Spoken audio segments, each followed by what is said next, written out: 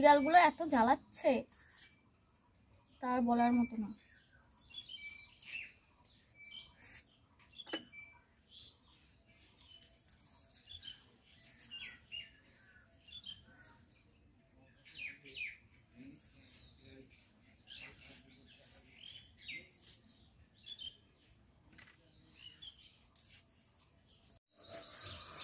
নমস্কার।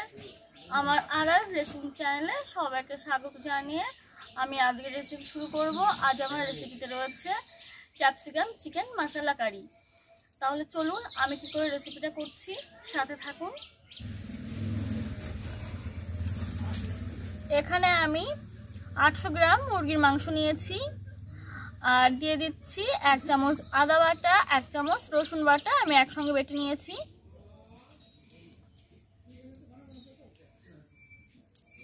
দিয়ে দিচ্ছি পেঁয়াজ বাটা।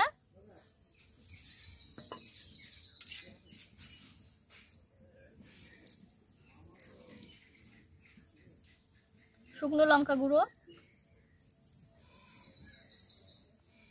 জিরে গুঁড়ো। ধনিয়া গুঁড়ো।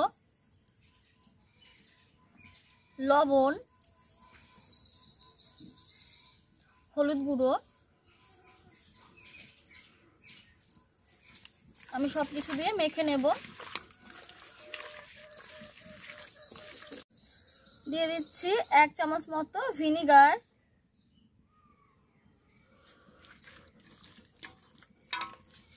আপনারা এখানে লেবুর রস কিংবা টক দই ব্যবহার করতে পারেন।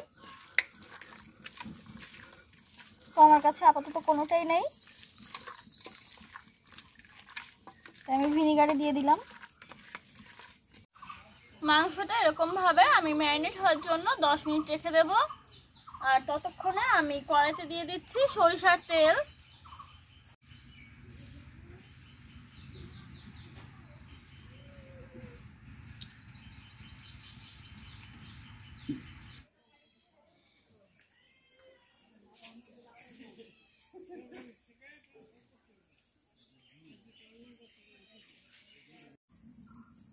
তেল গরম হয়ে গেছে, ক্যাপসিকাম আর পেঁয়াজ আমি এখন ভেজে নিচ্ছি।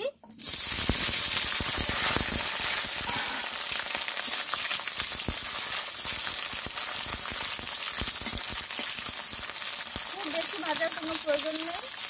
হালকা করে একটু ভেজে নিলে হবে।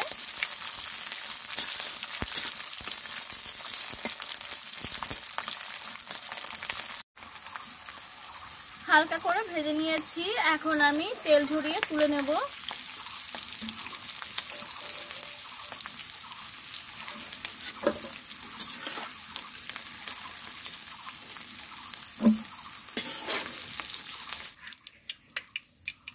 এই তেলে দিয়ে দিচ্ছি ম্যারিনেট করে রাখা মুরগির মাংস। এটা দেশি মুরগি।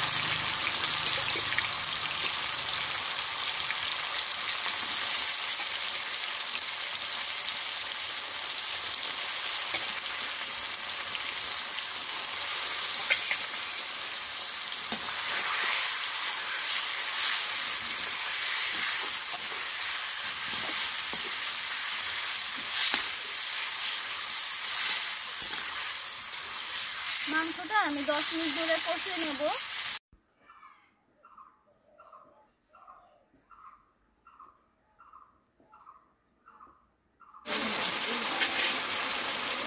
দশ মিনিট ধরে আমি মাংস কষিয়ে নিয়েছি, আর এখন আমি দিয়ে দিচ্ছি জল।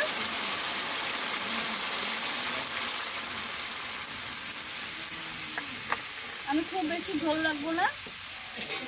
মাখা মাখা করে রান্না করব। খুব বেশি জল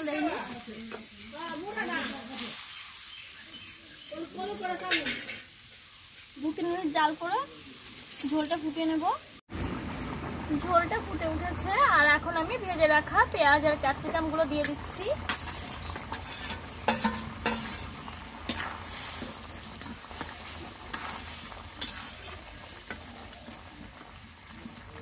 আর দিয়ে দিচ্ছি মিট মশলা গুঁড়ো।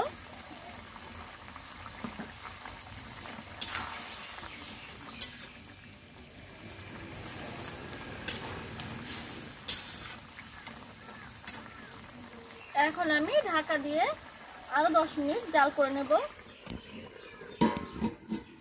দশ মিনিট হয়ে গেছে, এখন আমি ঢাকনাটা খুলে দিচ্ছি।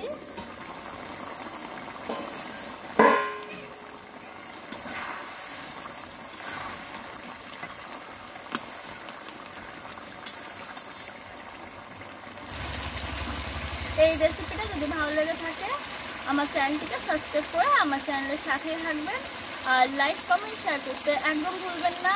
আর আমার চ্যানেলে আরও নতুন নতুন রেসিপি পাওয়ার জন্য পাশে থাকা বেল বাটনটি ক্লিক করুন, যাতে করে আমার দেওয়া সব ভিডিও সবার আগে আপনাদের কাছে পৌঁছে যায়।